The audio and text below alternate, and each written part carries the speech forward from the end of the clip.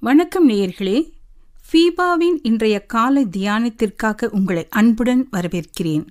அன்பு தேவ பிள்ளைகளே உங்கள் யாவருக்கும் என் அன்பின் காலை வணக்கத்தையும் வாழ்த்தினையும் தெரிவித்துக் கொள்கிறேன். இந்த நாள் முழுவதும் என் தேவன் உங்களை நெருக்கத்தினின்று விலக்கி உங்கள் வேதனைகளிலிருந்தும் விலக்கி மீட்டு காப்பாராக. ஆமேன்.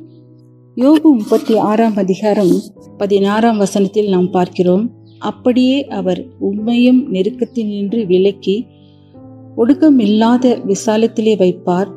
உம்முடைய போஜன பந்தி கொழுமையான பதார்த்தங்களால் நிறைந்திருக்கும் என்று. நெருக்கங்களிலே இருக்க யாரும் விரும்புவதில்லை. வேலையில் நெருக்கம் குடும்பத்தில் நெருக்கம் பண பற்றாக்குறையால் நெருக்கம் என்று நெருக்கங்களிலே வாழ்ந்து கொண்டிருந்தால் உள்ளம் நொந்து போய்விடும். கர்த்தர் உங்களை விசாலத்தில் வைக்கவே விரும்புகிறார். நீங்கள் பல ஆண்டுகளாக வாடகை வீடுகளிலே வாழ்ந்து கொண்டிருக்கலாம். வாடகை வீட்டின் சொந்தக்காரர்களுடைய நெருக்கத்தின் மத்தியிலே வாழ்வது எவ்வளவு கஷ்டமான காரியம். அவர்கள் சிறிய தவறுக்கும் கடுமையாய் கடிந்து கொள்வார்கள். இரவில் சீக்கிரம் விளக்கை அணைக்க சொல்லுவார்கள். தண்ணீர் கிடைக்கிறதும் கடினமாயிருக்கும். வருடா வருடம் வாடகையை உயர்த்துவார்கள். இப்படிப்பட்ட நெருக்கடிகளின் மத்தியில் நீங்கள் வாழ்ந்து கொண்டிருக்கலாம். ஆனால் கர்த்தர் உங்களுடைய நெருக்கத்தை காண்கிறவர். இஸ்ரேவேல் ஜனங்கள் எகிப்தின் அடிமைதனத்திலே அதிகமாய் நெருக்கப்பட்டு ஒருக்கப்பட்டார்கள் எகிப்தியர்கள் அவர்களை கடுமையாக வேலை வாங்கினார்கள். அதிகாலையில் இருந்து இரவு வரையிலும் மண் சுமந்து செங்கல் அறுத்து தோய்ந்து போனார்கள். அவர்கள் அந்த நெருக்கத்திலிருந்து கர்த்தரை நோக்கி கூப்பிட்டார்கள். அவர்களுடைய கூப்பிடுதலை கர்த்தர் கேட்டார்.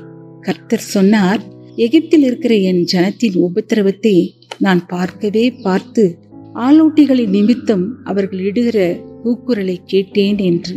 கர்த்தர் அவர்களுடைய கூக்குரலை கேட்டு அவர்களை பாலும் தேனும் ஓடுகிற விசாலமுள்ள தேசத்திற்கு கொண்டு வந்தார். அது மலைகளும் பள்ளத்தாக்குகளும் உள்ள முன்மாறியும் பின்மாறியும் பெய்கிற தேசம். இன்றைக்கு உங்களை அவதிக்குள்ளாக்கும் நெருக்கும் மிக விரைவிலே முற்றிலுமாய் மாறிப்போய்விடும். உங்களுடைய பிரச்சனைகளின் போதும் பற்றாக்குறையின் போதும் மற்றவர்களால் நெருக்கப்பட்டு ஒடுக்கப்படும் போதும் சோர்ந்து போகாதிருங்கள். உங்களுடைய நெருக்கத்தின் மத்தியிலே கர்த்தரை நோக்கி கூப்பிடுங்கள்.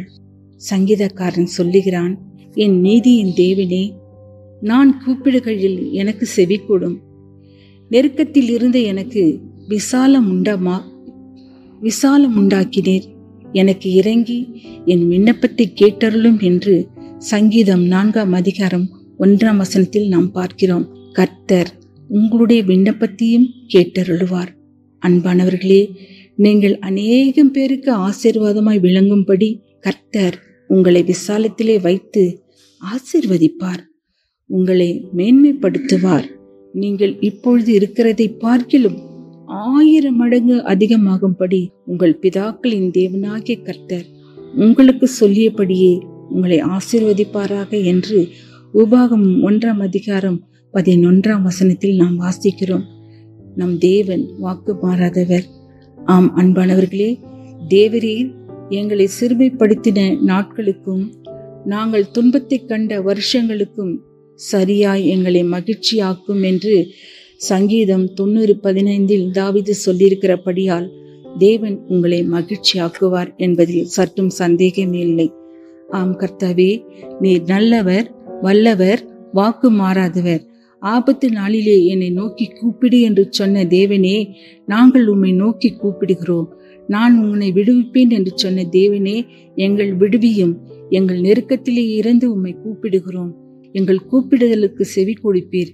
எங்கள் விண்ணப்பத்தை கேட்டு எங்களது கண்ணீரை துடிக்கிறவராய் நீர் இருப்பதற்காய் நன்றி. உம்மையே நம்பி நீர் தந்த வாழ்வை உம் கரத்தில் இந்த நாளில் நாங்கள் ஒப்புவிக்கிறோம். நீர் விடுதலையாக்குவீர் என்ற நம்பிக்கையோடு காத்திருக்கிறோம். ஆமேன். இன்றைய காலை தியானத்தில் பங்கேற்றமைக்காக நன்றி. உங்களது கருத்துக்களை பகிர்ந்து கொள்ளவோ மேலும் விவரங்கள் அறிந்து கொள்ளவோ ஒன்பது நான்கு எட்டு பூஜ்ஜியம் ஐந்து எட்டு ஐந்து பூஜ்ஜியம் நான்கு இரண்டு என்ற எண்ணிற்கோ அல்லது info at FIFA online dot ஓஆர்ஜியிலோ தொடர்பு கொள்ளவும். தேவன் தாமே உங்களை ஆசிர்வதிப்பாராக. ஆமேன்.